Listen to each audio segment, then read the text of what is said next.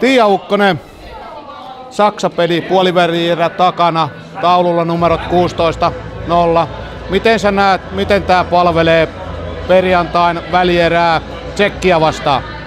No saatiin pallollista peliä ainakin harjoiteltiin, niin nähtiin, että pallo liikkuu, niin aukeaa niitä paikkoja ja mun mielestä oli röyhkeitä maalinälkäisiä pelaajia tänään, että ajettiin sinne maalipaikoille, että 16 maalia kertoo siitä, että se oli ihan hyvä juttu. No miten sä näit pelaajan silmin, minkälaista siellä kentällä tuntui nyt tänään? Oliko kaikki keskittyminen ihan täysin pelissä?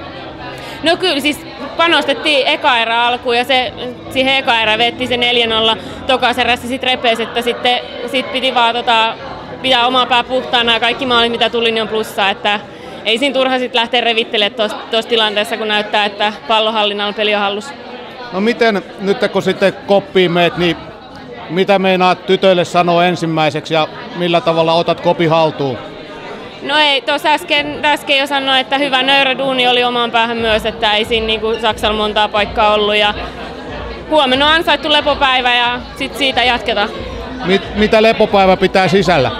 No varmaan lyhyet mailareenitkin on ja muuten ihan palauttava, palauttava harjoittelu on mahdollisuus päästä vesijuokseen ja kylmähoidot toki nyt heti tuossa ja ihan rentoa olemista palauttelu.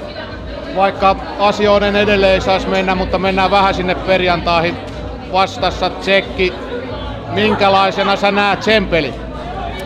No nyt siitä tulee varmasti tiukka peli, että meillä on Tsekki vasta ollut tiukkoja pelejä, että nyt varmaan katsotaan videoita ja vähän analysoidaan, miten Tsekki on nyt täällä pelannut ja sitten lähdetään hiomaan taktiikkaa sitä vastaan.